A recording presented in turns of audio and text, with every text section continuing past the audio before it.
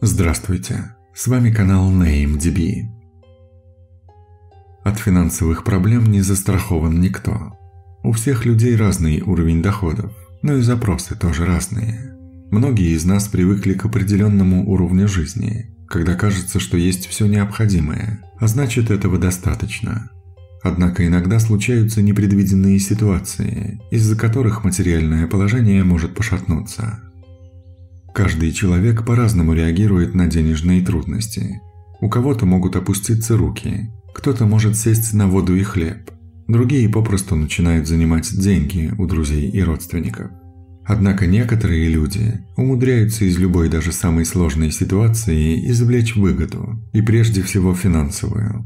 Умение всегда оставаться в плюсе – это тоже своего рода талант, но обладают им немногие – и астрологи определили пятерку прирожденных финансистов по знаку зодиака и назвали их людьми с денежной жилкой. Овен – целеустремленный и рискованный. Овен – это знак целеустремленных и настойчивых людей. Именно эти черты характера – залог их финансового благополучия. Овны – люди не из робкого десятка. Они точно знают, чего хотят от жизни и знают, как этого достичь. Овны постоянно пробуют что-то новое, стараясь всегда и из всего извлекать максимум выгоды. Они не боятся рисковать, даже если шансы на успех 50 на 50.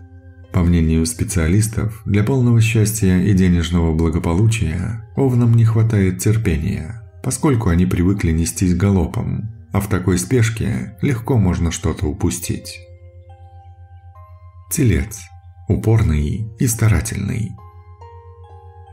Телец – это один из самых упорных знаков зодиака. Его подопечные готовы трудиться в поте лица до тех пор, пока намеченные задачи и цели не будут реализованы. Тельцы стремятся к комфорту и роскоши, поэтому они постоянно работают над ростом капитала и повышением уровня доходов. Они понимают, что красивая жизнь требует крупных вложений, а сами собой деньги не появляются, поэтому их нужно заработать. При этом для тельцов не характерны необдуманные поступки, поэтому они инвестируют только в проверенные проекты и стараются избегать участия в различных финансовых авантюрах. Дева. Экономная и продуманная. Девы умеют зарабатывать и знают, как правильно тратить деньги. Этот знак отличается умением планировать все до мелочей. Девы очень бережливые. Они ценят деньги, заработанные упорным трудом. Они не станут тратиться на всякие побрякушки, тряпки или какие-то ненужные им вещи.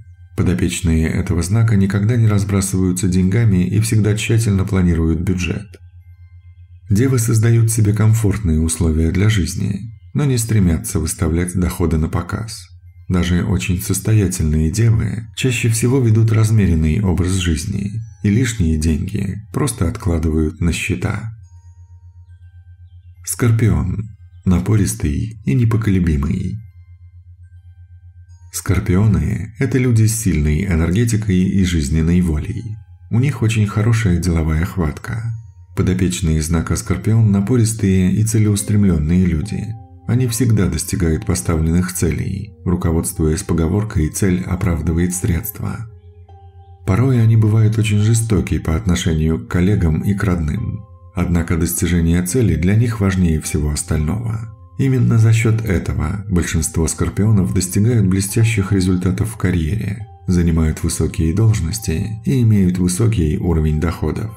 Вот только даже такие серьезные люди под влиянием эмоций иногда могут допускать ошибки, способные повлечь за собой крупные финансовые потери. Козерог. Трудолюбивый и ответственный. Козерог – это прирожденный лидер. Люди, рожденные под этим знаком, отличаются невероятным трудолюбием, чувством ответственности и упорством. Козероги никогда не сходят с намеченного пути. Они преодолеют любые препятствия и преграды на пути к успеху, даже если на это уйдет больше времени, чем было запланировано. Козероги всегда тщательно обдумывают каждый свой шаг и никогда не делают поспешных выводов. С ними всегда приятно иметь дело. Они надежные деловые партнеры и могут стать успешными бизнесменами. Пишите комментарии, Ставьте лайки, подписывайтесь и нажимайте колокольчик, чтобы не пропустить новые ролики. А с вами был канал NameDB. Спасибо, что вы с нами и до встречи.